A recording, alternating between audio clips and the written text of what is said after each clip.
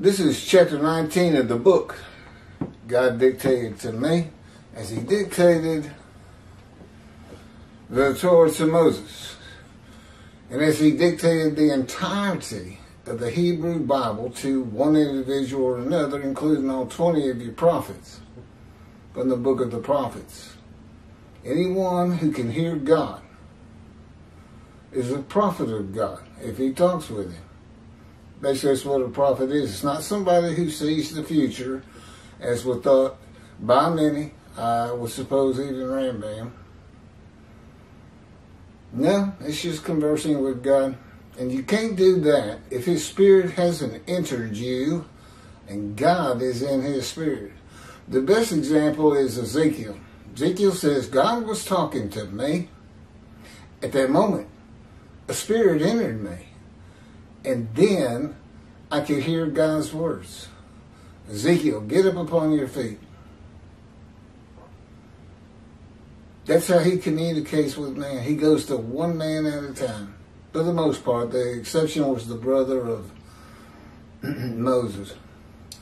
But uh, even that was different. It, it wasn't, he didn't have the same experience Moses did. So anyway, story of Jesus most likely began around 100 years before the story begins with his birth at the beginning of the Common Era. The first written version of the story is the Gospel of Mark that dates from 66 to 70 Common Era, about 40 years after the story says Jesus died. This also is the time of the Jewish revolts. There were four of them against Rome and the defeat and expulsion of the Jewish people from the promised land. Rome finally won. And they lost, by some accounts, hundreds of thousands of the Jewish people, many crucified.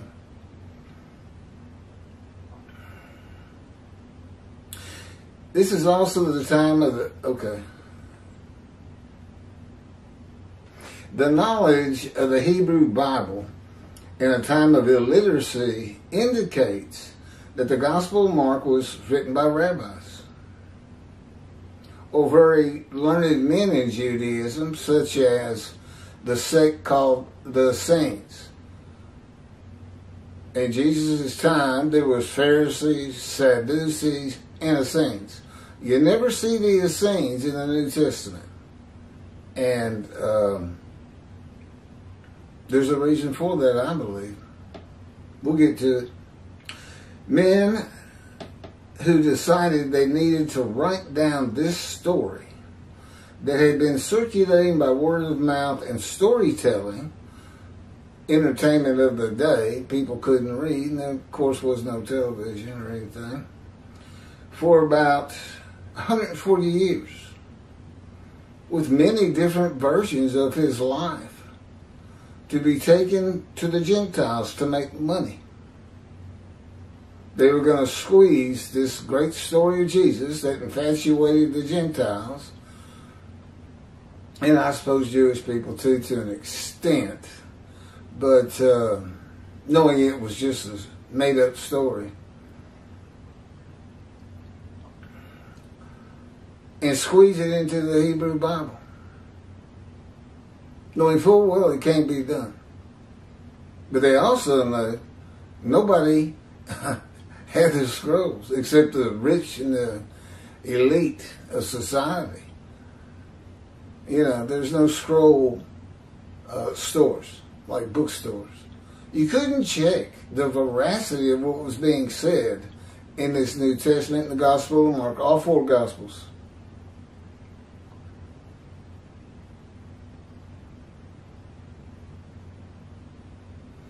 Their temple, their homes and country were gone. And it was desperate times for the Jewish people. According to the oral story that most likely began a hundred years before the before the common era, you know, Jesus was born at the beginning of the Common Era. Died, some say, on or about 30 years old uh, in year 30 of the Common Era. Book was written approximately 70 of the Common Era, 40 years after his death, in the story. According to the oral story, most likely began 100 years before the Common Era with a man called the Teacher of Righteousness. That's his name. Who established a sect of Judaism known as the Essenes. The Teacher of Righteousness, who fought with a wicked priest, did not like the way the temple was being run did not like all the sinning going on in Jerusalem, and did not live there, and despise riches and the material things of the world, just like Jesus, who also claimed to be the teacher of righteousness. That's what they call the man of Isaiah 53, because in verse 11, God says, My righteous servant makes the many righteous. And that's how they refer to him. They don't refer to him as the suffering servant although he is a man of pain, suffering, sorrow, familiar with disease, who got crushes with disease, but gives him long life. It did expose him to death, but he does not die. Of course, Jesus did, and under the commentary of Tovia Singer, uh, he thinks the murder of the Holocaust were somehow uh, guilt offerings. And I guess that means uh, Hitler offered him up, he became the righteous servant. I can't tell what he's done. He misinterpreted the Hebrew to English. He says 5310 says it's a guilt offering, and that uh, he, I, don't know, you know, uh, and he thinks that the kilns of the death camps are altars of God. And he also thinks that all six million Jews murdered were unblemished. He calls them, he calls them a guilt offering of unblemished rams. Going to Leviticus, he revives. Who does he think he is? He revives God's laws that God did away with. And he added human beings to it. Isn't this guy an anti-missionary? He did. He does know that's what the Christians did. They said we had our man's an unblemished lamb, and based on the intent or whatever of Leviticus, we believe his sacrifice was a sin offering for all that believe in him, commit to him to be his their savior, and believe in the resurrection. That's it. That's all you got to do. Yeah, I believe in Jesus. Uh, yeah. Yeah, I believe he rose from the dead. Okay. Well, your sins are forgiven. You know what I found out when God was teaching me the New Testament? He took me to one of these mega churches in Houston, Christianity, uh, Joel Osteen. And uh, a fellow came up to me and says, You know, if you did accept Jesus as your Savior, uh, all your sins are forgiven, but here's what you probably don't know. All the sins you're going to commit in the future are forgiven too. I thought about it. I said, you mean I can just keep sinning? I can go on a crime spree and it's all forgiven. Doesn't matter. That's right. All you gotta do is accept Jesus, believe in the resurrection. Okay. Well, thanks for the information. Christian, what are you gonna do?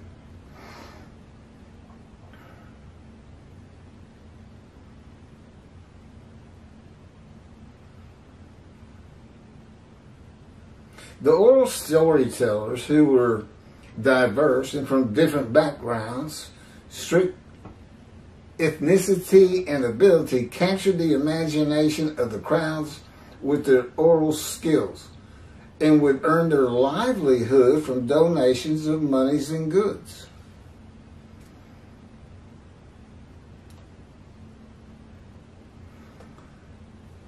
few could read in a world where illiteracy was restricted to just a few, and this did not begin to change until the Middle Ages.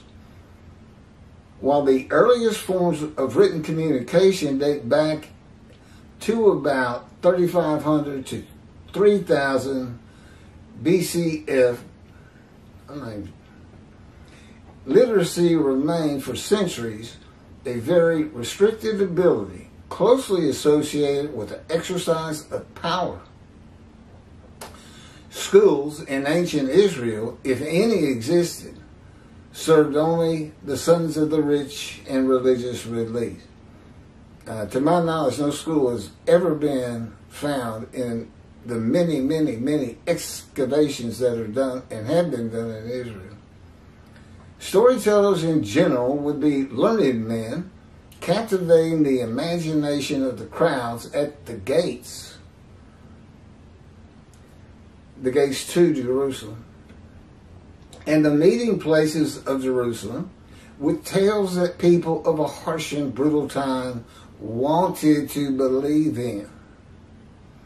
A time when medical treatment was primitive and life expectancy was 30 to 35 years, averaging those who died at birth to those who died with long life into their 70s and beyond.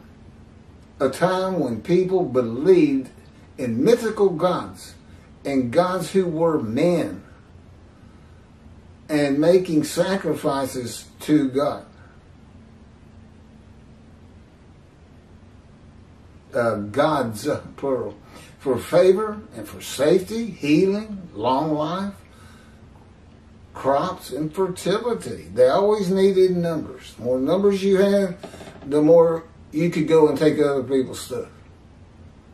It's very hard to build your own house and also live with it. It was also very hard to grow your own crops and get to enjoy them. So it was a brutal time, people. Brutal time.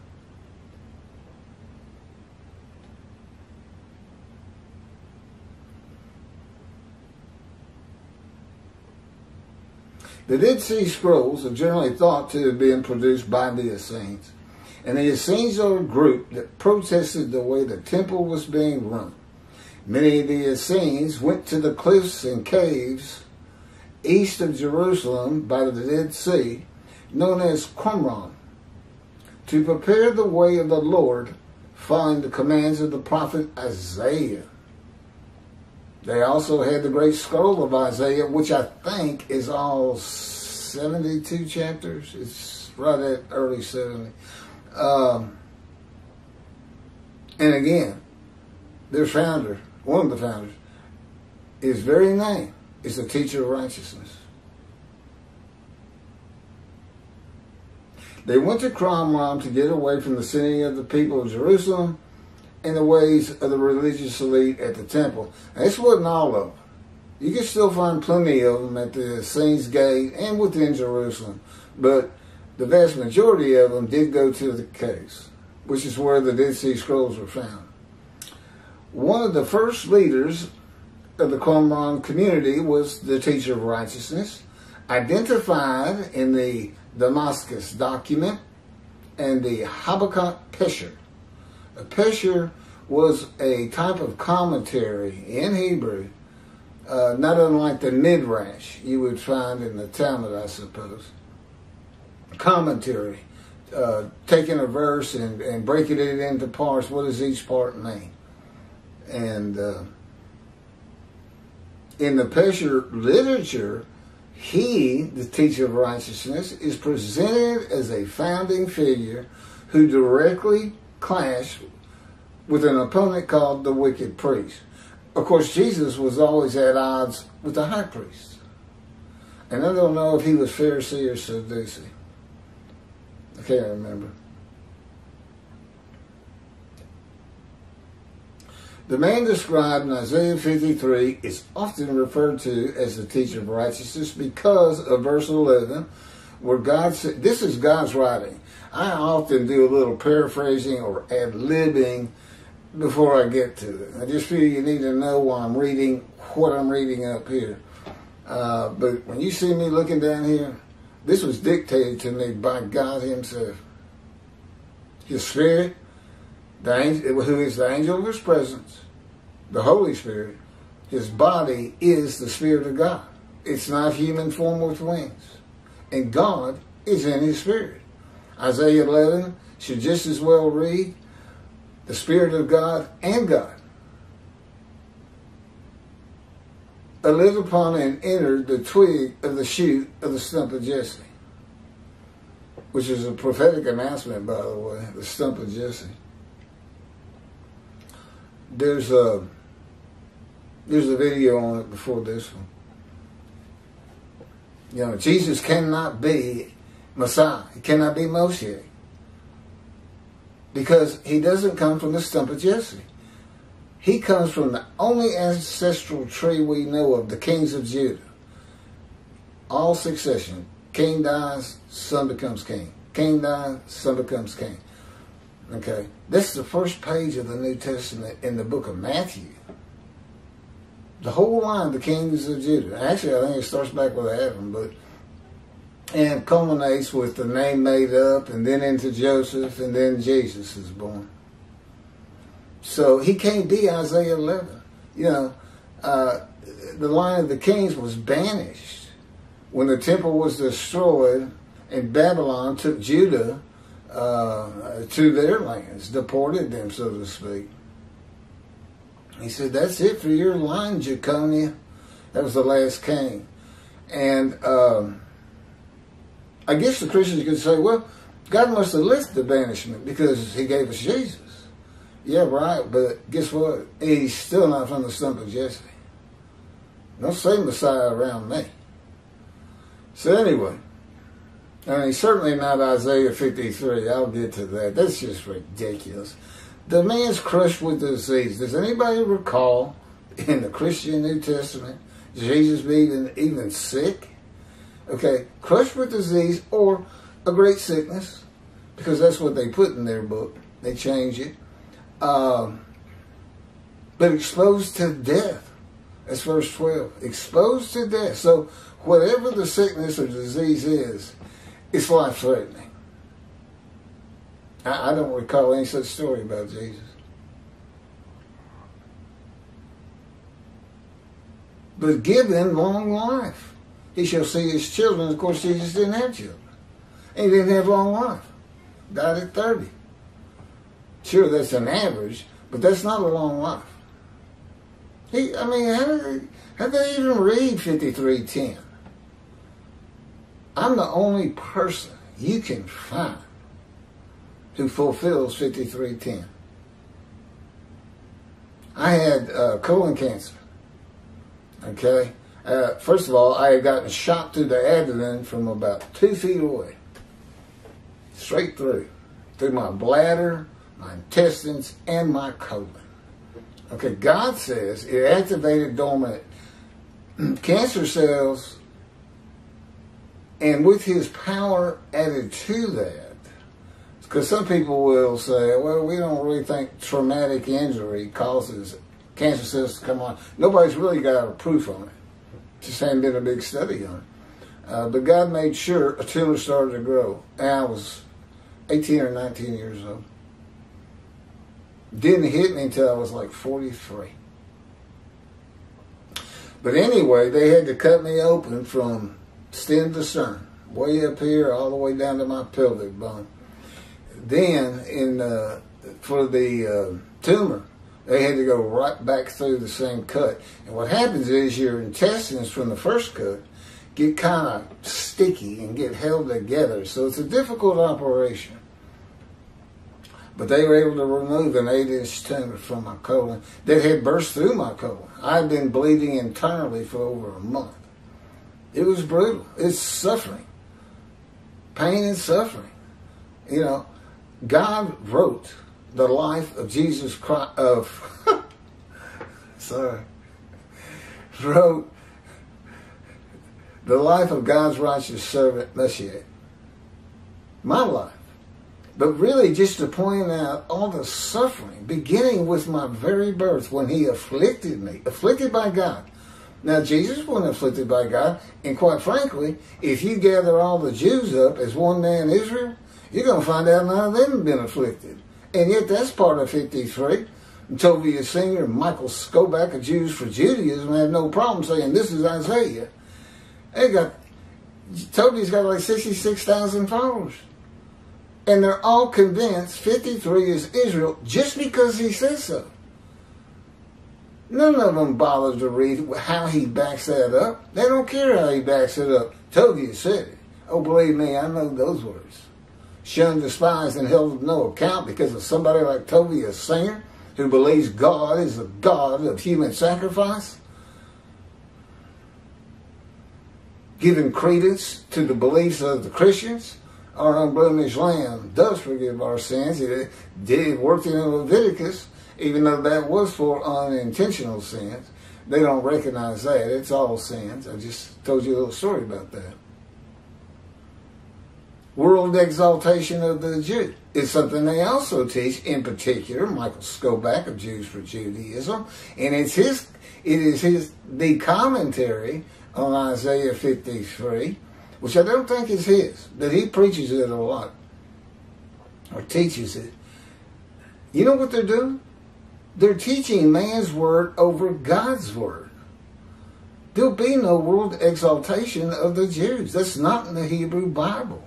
Rambam made it up. He made up the Messianic era you hear him teaching. There's no Messianic era. All you got to do is read God's covenant of friendship when he returns as he says he will in Malachi 3. He says, You won't be the taunts of nations anymore. I'm going to set my temple amongst you. Okay? You'll never be defeated again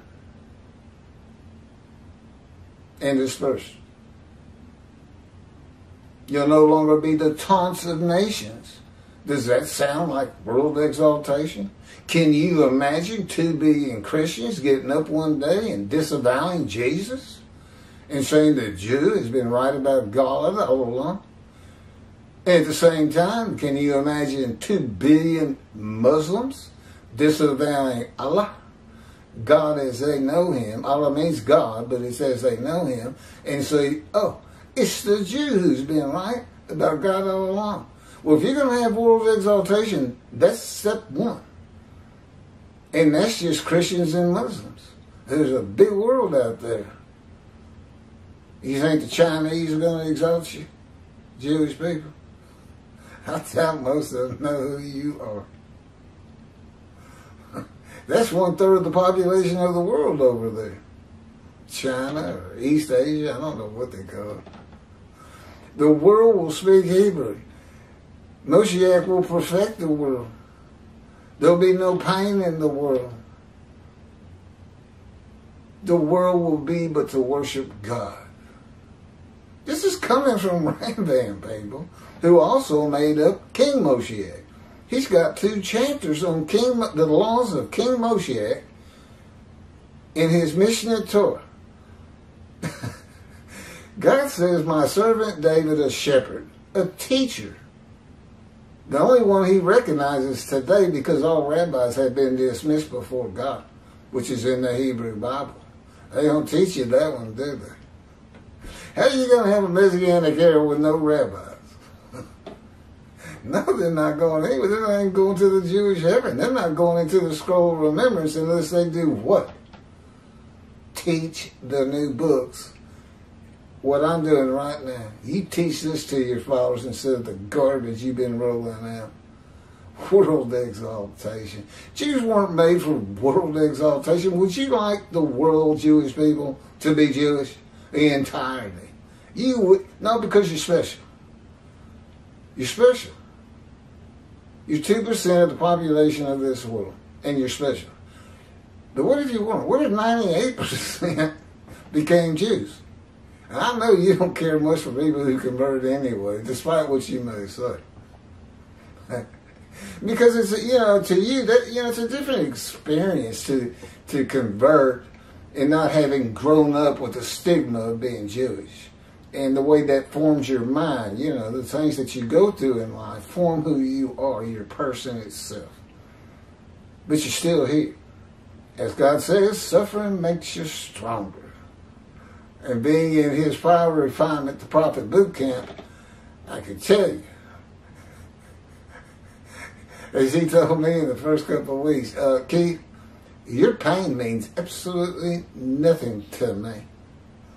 And there's no low I won't go to elicit emotions from you because it's going to change you. That turned out to be very true. He doesn't care about my pain. He'd give you a pain somewhere. It could be anything. He's got all kinds of little tricks he likes to roll out. And you think to yourself, I can't take this for five minutes. I'm going to lose my mind. I'm going to spontaneously combust if this continues. And you know what? Two weeks later, you're still saying, I can't take this pain for five more minutes. Yeah, nonstop, 24 7. The year 2022 that just passed, each year has gotten more brutal. I asked him, I said, well, look, I see wounded, I see punished, I see chastisement, I see crushing and bruising, maltreatment. Okay, those are the big six of uh, Isaiah 53 that you see. You just don't know it applies to the fire refinement.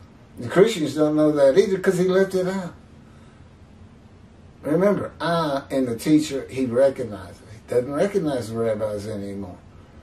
He wants Judaism out of antiquity. In the early Middle Ages and up here to the Common Era, after the, after the Enlightenment, and where we are today with knowledge, information, uh, medicine, and science. I mean, who really believes in the resurrection of the dead? That's supposed to be a sign that I'm here, according to Rambam.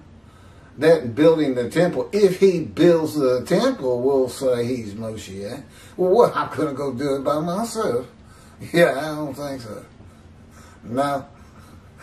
And God's wrath in 51 of Isaiah is passed to the Christians. You can read about it.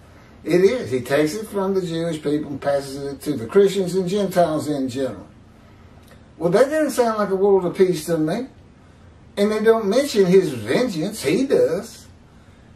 In the era of redemption. Vindication. You know how, you know what the first salvo is? You lift me up high. You say, this is the man of Isaiah 11 and 53, Christians. Can't be your Jesus, and he tells us why. Since our anti-missionaries seem to have fallen off the boat with some of it, some of it. Can't be, the, can't, can't be Moshe. Can't be Messiah. He's not from the stump of Jesse.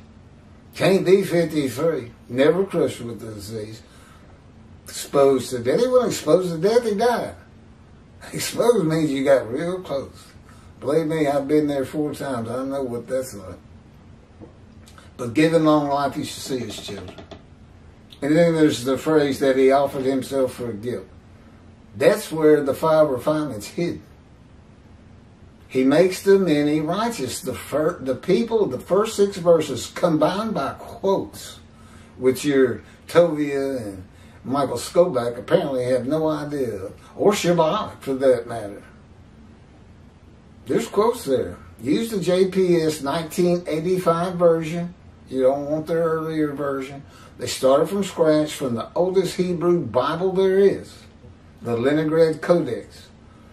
Start from scratch with, with nothing but linguistic experts and three rabbis, one from Orthodox, one from Conservative, and one from Reform. And they worked on it for 30 years. They started in 55, published in 85. 30 years. And Tovia thinks he can tell this group that he knows how to uh, translate Hebrew to English better than them? It says what it says in the JPS, and he's got it.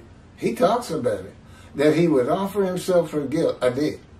But it's not a vicarious suffering. It's not taking somebody's sins. He was wounded for our sins. Yeah, I was wounded, all right. Yeah, he split my chin open multiple times, broken my hands, cracked my ribs, throwing me to the ground, tripping me while I'm running down a railroad section. Oh, I got pretty outraged about that one. That's what he's looking for. Just maltreatment by God is awful. I mean, it just hurts you to the quick, and you can't stop it. He's absolute power, absolute knowledge, and he is his creation. That to him is the definition.